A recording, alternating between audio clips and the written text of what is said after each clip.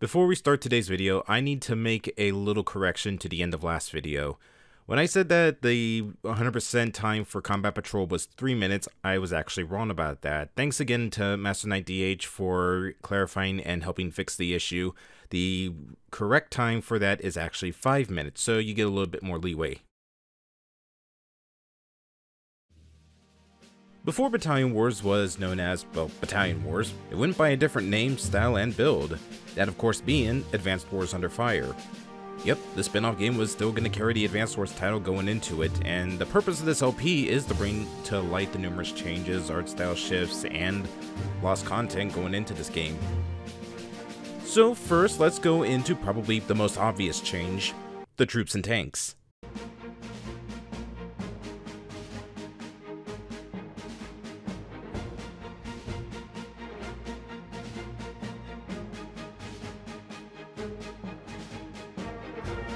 Grunts in the Under Fire build were definitely a lot more buff with a stricter move cycle, although that's probably due to it being a very early build of the game. They more resembled how the veteran class do in Battalion Wars instead of being entirely different design-wise like how they are in the final build of the game, with the only way to differentiate the different troop types is by their title, their weapon, and their helmets. Grunts or riflemen had standard helmets, bazookas were wearing no helmets at all, missiles had a targeting visor, flame troops wore red helmets, and the heavy gun troopers wore reinforced helmets. Tanks and other vehicles also looked vastly different than they do in the Battalion Wars build, with the most notable being the tanks and gunships, looking like something right out of G.I. Joe. They also didn't come pre-crewed like they do in this game, making you have to jump into them yourself to pilot them, and weren't limited to grunts being the only pilots of the vehicles, letting other trooper classes take control or man gunner positions. One last thing to note is that T-Copters in the Underfire build were not only going to be flyable, but also pack some heavy armaments for defense, so that's something. Also, one last thing to note, even though they looked a lot different than they did in Battalion Wars, they still shared the goofy, high-pitched voices that the grunts in this game do, so I figured that was just a very funny thing just to note about the old troops.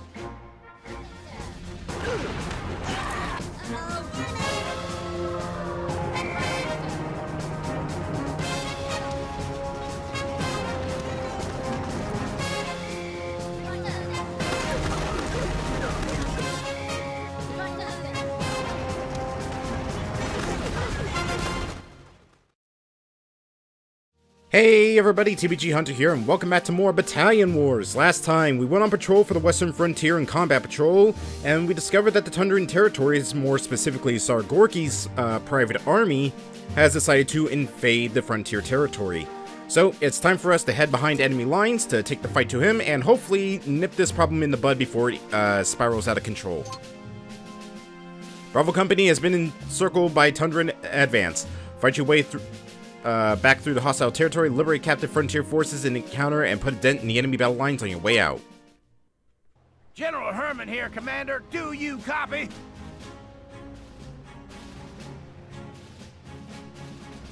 Here's the bad news. Czar Gorgi's launched an all-out attack. Which means our position is now behind enemy lines. But here's the good news. You're gonna join forces with the boys from Bravo Company. We'll see if we can't get us a piece of the action.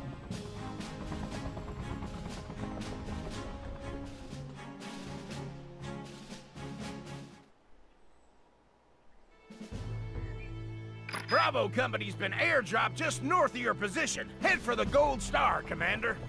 I'm wondering, did something happened with Bravo Company? I guess it was maybe like a forward observer or something, because I definitely saw like a grunt already standing in front of where the air transport dropped off. Alright, fine, whatever. Come on, boys. Let's get a move on. Gonna catch those Tundrans by surprise. They won't know what hit them. It's that pesky spy again. Take him out before he can report back to country. Nailed him. And it looks like he left a medipack behind.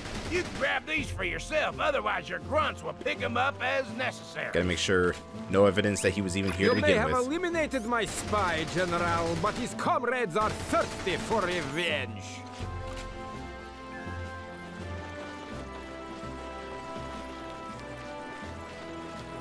come on, boys. Keep an eye out. They could be popping out at any minute.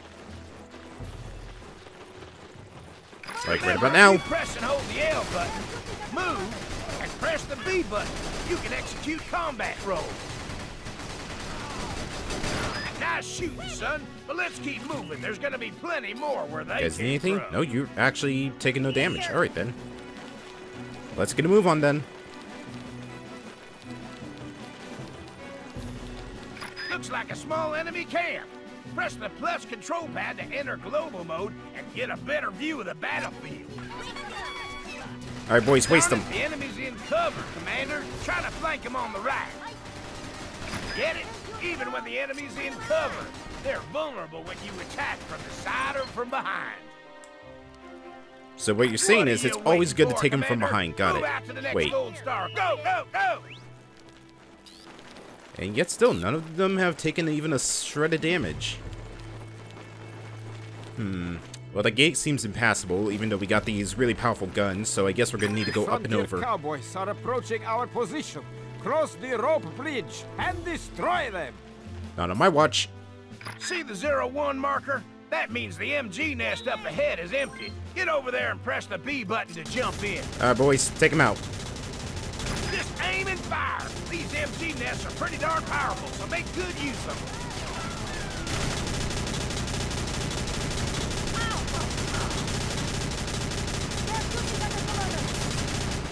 That grunt is definitely taking his fair share of damage.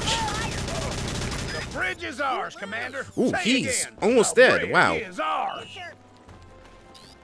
Yeah, you might want to get some health. Maybe? So another one took some... Eh, it looks like two took some significant damage.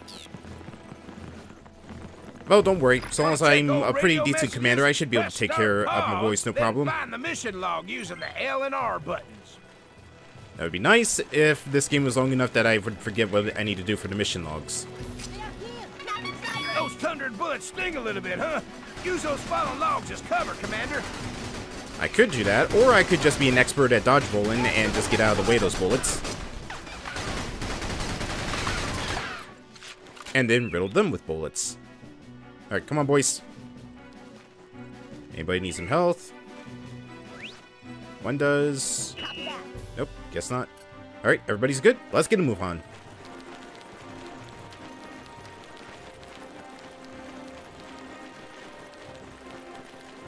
Just sneak our way right around behind their lines. They won't know what hit them. Hang thin, Commander. I'm gonna call in some air support to soften them up a little. An airstrike, General. Are you afraid to engage my troops on even terms? I was about to say, Frontier Command better send some fighters to take care of the fighter that was patrolling the area. Otherwise, that bomber was not gonna. Do we have those Uh, be very helpful. or what? Now, what are you waiting for? Attack! It looks like the fighters took care of the Tundran fighter. You can use combat rolls to dodge enemy fire. We're gonna fly in a light tank. All right, come on, boys. Rifle grunts to help you with the rest of your mission. Head for the next gold star. Oh, someone just got shot down. Now that's what I call a firefight. But we don't got time to stand around and enjoy the scenery. I'm gonna guess that was probably our bomber. Or maybe that was the Tundran fighter. I don't know, but somebody got shot down out of the sky. Let's roll out the welcome wagon, Commander. That poor guy, I kind of feel bad for him.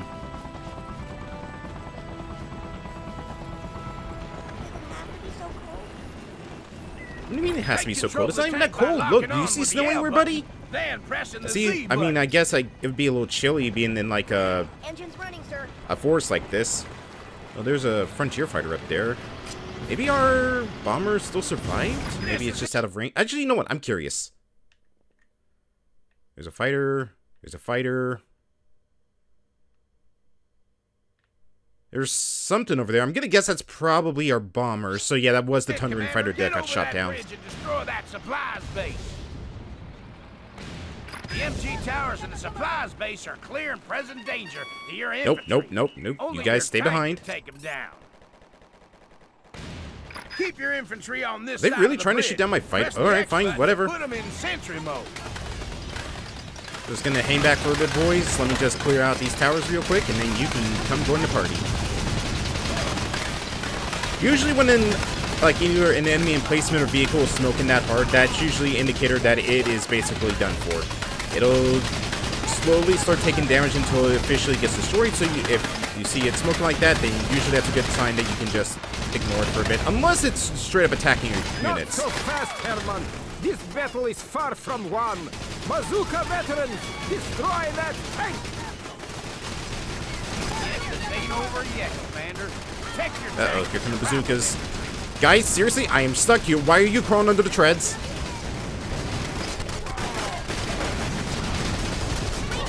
Your tank is in pretty bad shape, Commander. If you want to patch her up, grab one of those blue jerry cans.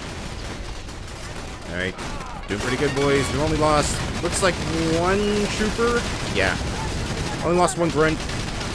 But the Tundrans have definitely lost a lot more than just Keep one. up the good work, son. We're close to winning this thing. I actually thought that explosion was going to be enough to kill the rest of my battalion. Speaking of the rest of the battalion, no, they're doing pretty good. Alright, cool. Let's just finish off the recon squad, and we are done here. Outstanding!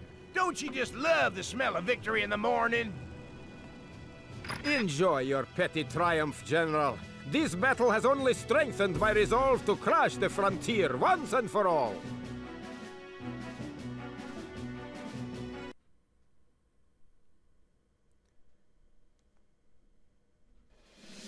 And with that, S rank. Technique, while we did lose that one grunt, that was enough to knock it out of the 100%. Speed was 88%, which was still pretty decent. Up in the corner, you will see the speed requirement for the 100%. Power, 100% as well, and total time, or total percentage of it is uh, 95%. So speed and technique hadn't dinged us too much. We definitely would have been able to easily 100% uh, the total. Alright, folks. With that, that is going to do it for today's video. We're going to take a look at the Frontier Light Tank, though. The crew of 2, speed rating of 3, 2 weapons, and an armor rating of 3. Its role is anti-infantry and vulnerable to rockets and aircraft. The Herman Mark V is the standard battle tank of the Western Frontier. This latest iteration sees it armed with a single 100mm cannon and a short-range HMG. Despite its mobility, light armor makes this tank vulnerable to bazooka ambush. And as you could see, we actually got pretty danged up by that Bazooka Vet ambush at the very end of the level. We also got an introductory to the transport copter. With a crew of 6, a speed rating of 2, 2 weapons on it, and an armor rating of 4, its role is being a troop and vehicle carrier. This rapid insurgent C-type Samson transports Western Frontier infantry and vehicles in and out of hotspots across the globe. Although lacking in significant offensive capability, the 7-berth Samson is thickly armored and can soak up a lot of punishment. Anyways, next time on Battalion Wars, we're gonna go under command of one of my all-time favorite COs in this entire series, and help take part in the defense of an assault on Windbreak Ridge. See you guys next time. Later.